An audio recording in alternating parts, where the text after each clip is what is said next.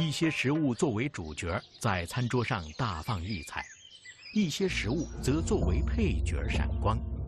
整只鸡冷水下锅，一小时三十分钟的时间，土鸡恰好内外熟透，出锅冷却，鸡肉轻微脱水。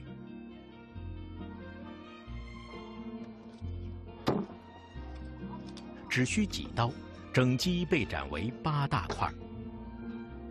再将鸡肉切为薄片，薄厚均匀，肉皮相连是下刀的基本标准。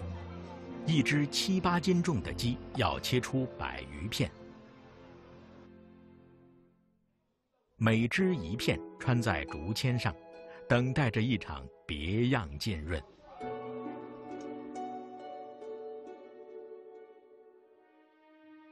瓦罐儿，乐山人称为饽饽，钵内盛放以麻辣为主的佐料，穿好的菜品浸于其中片刻，即成为食客们追逐的对象。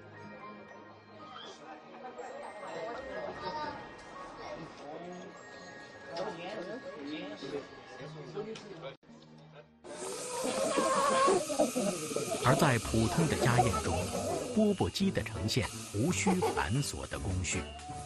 加油，作孽！一切为了鸡。站住！每年夏天的相聚，既是老友间情感的交流机会，也是美食的碰撞平台。乡野间散养的土鸡，孕育出肥厚而紧实的肉质。让羊乳可以为餐桌上增加风味。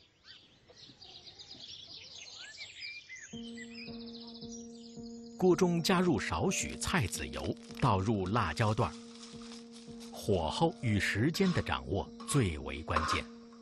小火备制，令辣椒不易焦糊。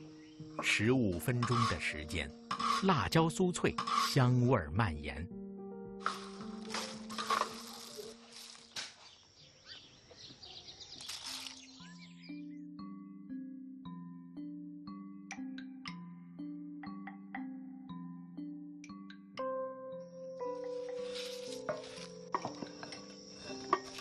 在碾子的碾磨声中，辣椒段被碾为粉末。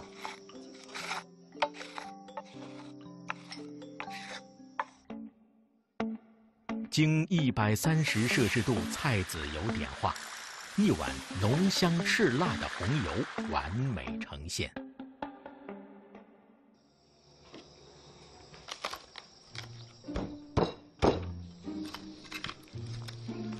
无需切片。整鸡在杨如的手中被剁制成寸段，仅需数勺红油、少许抗干花生碎，一盘醇厚香辣的红油钵钵鸡制作完成。然而，刺激的香辣味道并不是家宴味觉的全部呈现。盛夏时节，在乡间小路旁，一种名叫假酸浆的植物，其果实已经成熟。这是小孩子在暑热中的最爱。采摘作为人类获取食物最古老的方式之一，在今天已然成为了人们与大自然亲近的一种方式。知不知道这是什么呀？这是冰粉籽。可以干什么呀？可以做冰粉。冰粉是干什么的嘛？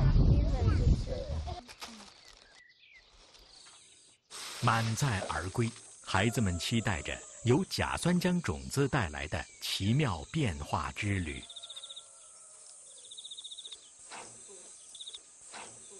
哎呀，你们知道包了这个以后可以干什么吗？搓冰粉。搓冰粉呀。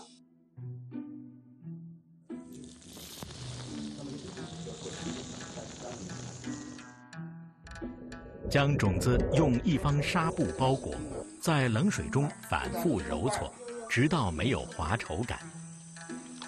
别抢，一人一只手嘛。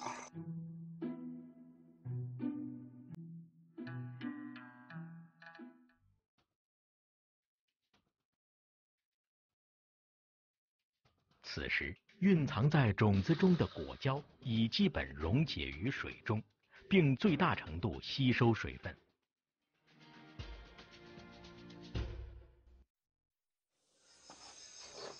少许沉淀过滤后的熟石灰水是点化的关键。石灰水中含有的钙离子大大提高了果胶的紧密性，使原本松散的结构凝固在一起，最终形成了这种被称作冰粉的消暑食物。山楂片、花生碎、葡萄干，再加一勺红糖汁水，清爽滑嫩的冰粉即成为夏日最受欢迎的食物。爸爸，上菜了！上菜了你看刘叔叔来了！兄弟，来，看我煮的锅。老汤锅内，仅需十秒，牛肉变色即入口。